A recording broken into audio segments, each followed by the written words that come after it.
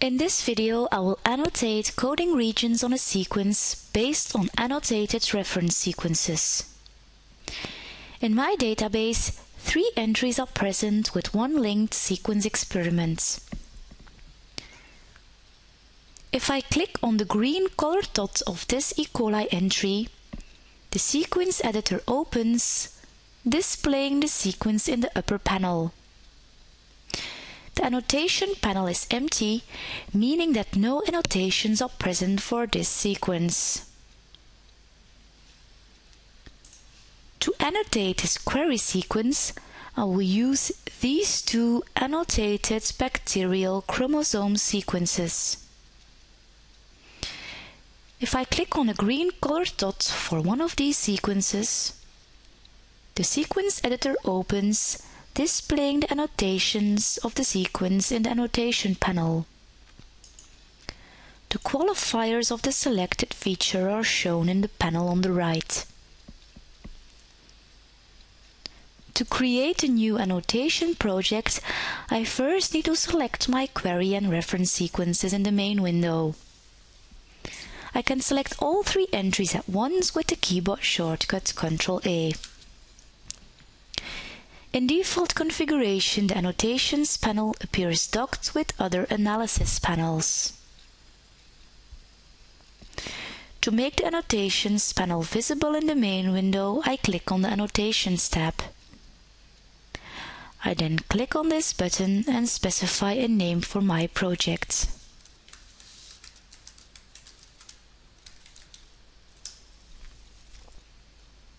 Only one sequence experiment is linked to my entries and is automatically selected.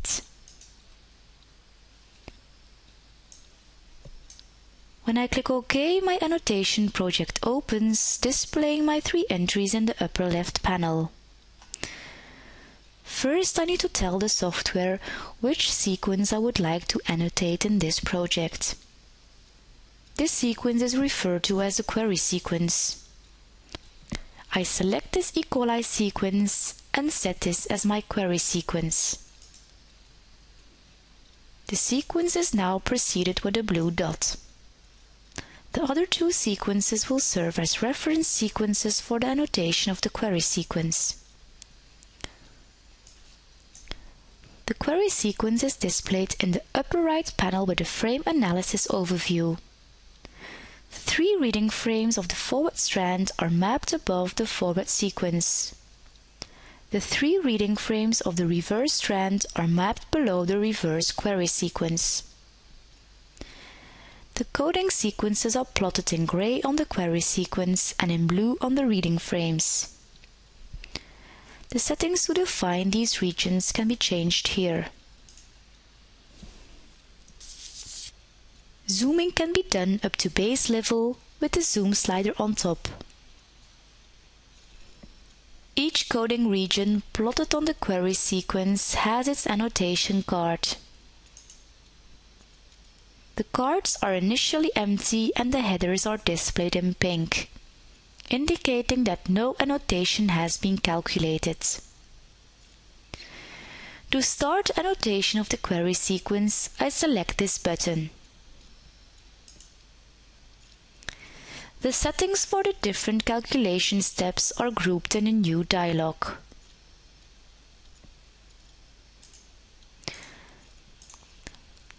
I will not change any settings now and I press OK to start the calculations. A green progress bar is shown in the status bar.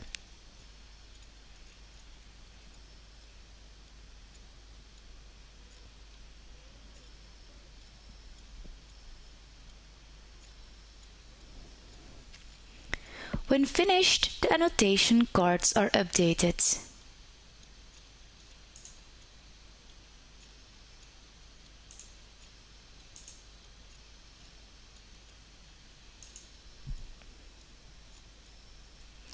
The hits that passed the project criteria are displayed.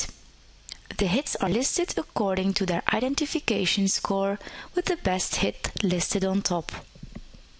The product description identity score and ID of the reference sequence is also displayed for each hit. default, the best hit is used to annotate the coding region. Detailed information about the hits is grouped in a separate window.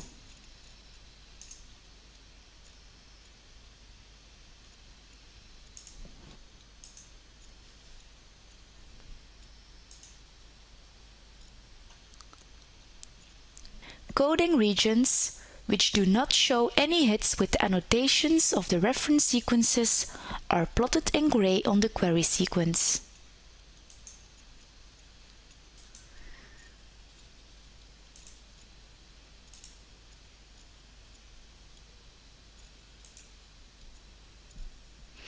These regions can be screened against online public databases. I select a region having no hits. I right-click on its card and select Automatic Annotation of Selected Feature. I will identify my protein sequence against an online protein database. I will choose the non-redundant protein sequence database at NCBI and press OK to start the identification. The submission progress is displayed in the status bar.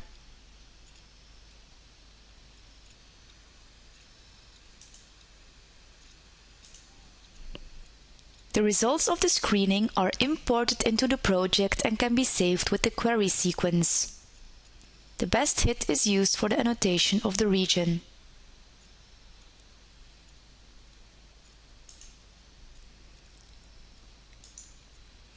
With the last option, all coding regions without any hits can be screened against an online database.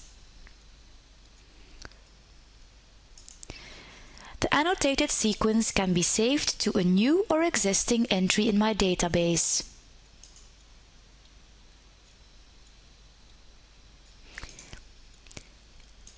In this example, I will save the annotations to my existing entry.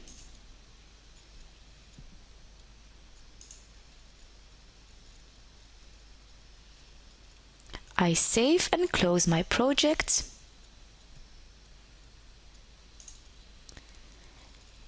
And when I now open my sequence editor, all annotations are displayed in the annotation panel of my query sequence. This ends this video.